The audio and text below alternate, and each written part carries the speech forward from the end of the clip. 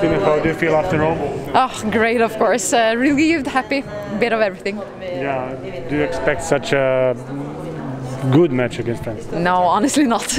I, for me, France is, yeah, maybe one of the toughest opponent you can ever meet. And uh, with that in mind, I think it's quite quite great that we managed to play a match like this in a semi-final.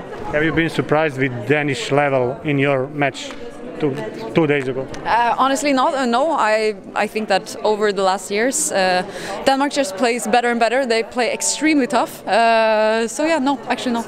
Do you have problem with the central defenders or not in the final? We will see. I hope not, but we will see.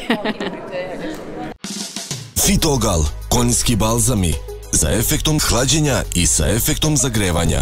Pogodni za povrede i relaksirajuće masaže tela.